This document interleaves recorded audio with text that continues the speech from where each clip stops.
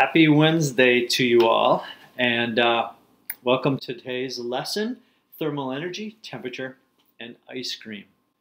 We're going to start out talking about temperature, actually reviewing temperature again, and then uh, we're going to go into making some ice cream and hopefully apply some of the physics concepts that we've been learning about temperature. So, temperature again is just simply it's a measurement of the movement of molecules. It's it's a way of measuring how much thermal energy they have by measuring how fast they are moving. So, what happens when something freezes, you might ask? Well, when something freezes, like water, let's take water for example, pure water. When pure water freezes, the thermal energy is exiting the water and the particles start to move closer together because they're not moving as quickly. When they move quicker, they're kind of moving farther apart. But when they slow down, when the thermal energy is leaving, remember thermal energy goes from warm to cold. So like when you put the ice cube tray in your in your freezer, the job of the refrigerator and the freezer is to suck away all the thermal energy. So when you put your food in there, uh, the next day or in a couple hours, you open up, the food is like, I don't know, 30 degrees or whatever your thermometer temperature is set at in the refrigerator because it sucks away the thermal energy. Well, that's what the job of the freezer is. You put the water in there in the ice cube trays, and the molecules slow down and they get close together. And then something weird happens when they reach the temperature of 32 degrees Fahrenheit or 0 degrees Celsius the this is a weird water molecule, but pretend this is a water molecule. They form something called lattices. They form bonds with each other. And in a ice situation, it, it looks something like this. If you could continue stacking these on top of each other and around each other, it makes an ice lattice. Okay? So you notice I said in pure water, it will freeze at 32 degrees Fahrenheit.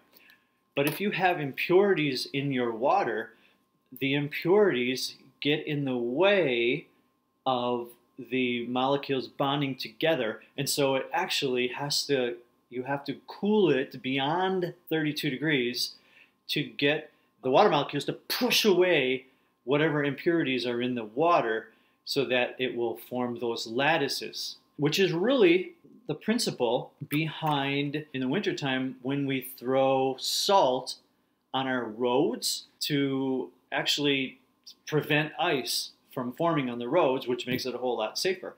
What happens is that ice that we throw, and I, and I have some here, it's a, a combination of calcium chloride, sodium chloride, and magnesium chloride.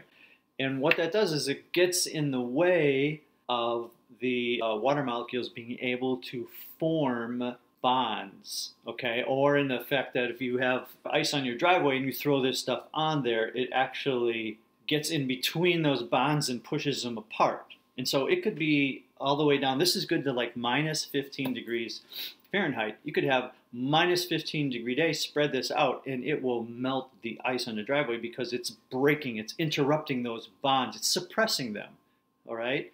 Suppressing those bonds from forming. Okay, so we're going to make some ice cream, and we're going to use these principles that we that we just learned.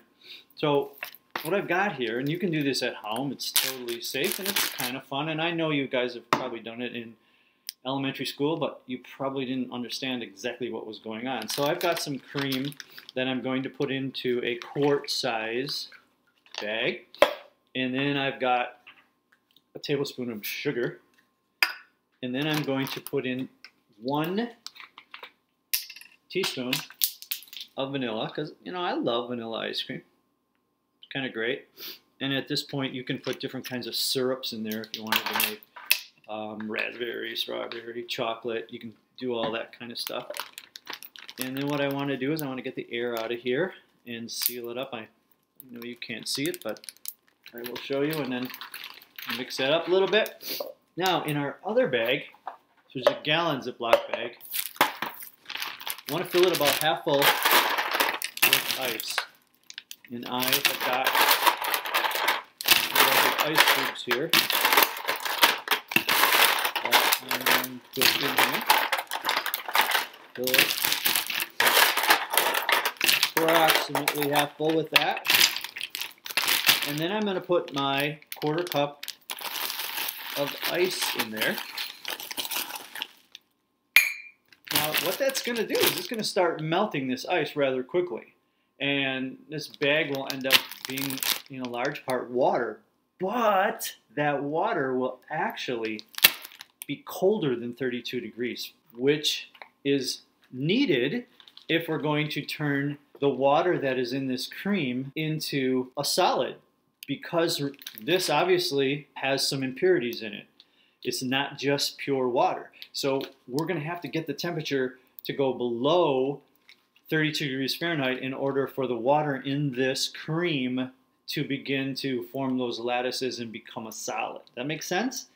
So in a way, what I'm going to be doing here is proving to you that the salt that I threw in here is actually going to lower the freezing point of water well beyond 32 degrees. What I'm going to do right now is I've got to fill the rest of this up with ice and then I'm going to shake it for nine minutes and I will come back on when I have some ice cream. Five minutes later. Right, I'm back. Um, five minutes later, we've got pretty solid ice cream here, and I'll taste that in a minute. But I'm going to take this thermometer and shove it down in there and let that sit while I have some of this ice cream here. All right, let me get a spoon. All right, see what this stuff tastes like. You see it has a nice creamy consistency. Mmm-mm-mm. Very good stuff. I think I could have put a little more sugar in though. But it's really good. I'll save that for later. Haven't had lunch yet. Pull up the old thermometer, and I am reading minus 5 degrees Celsius, okay? 5 degrees below 0 Celsius. It actually took 32 degree ice and lowered its temperature. And it allowed then the ice to melt because it was drawing away the thermal energy from the cream and allowing it to get cold enough to form those lattices and actually become a solid. A very good solid at that. You guys should be able to answer all of the questions if you listened well to this video because within my explanation of what was happening here, you got all the questions answered. Good luck. It was nice talking to you guys and uh, enjoy the rest of your Wednesday.